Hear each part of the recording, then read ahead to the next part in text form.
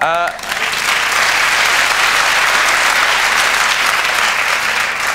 I think you have one serious handicap.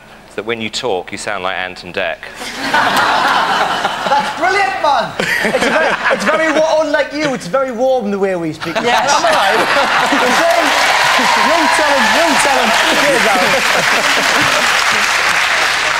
That really hurt.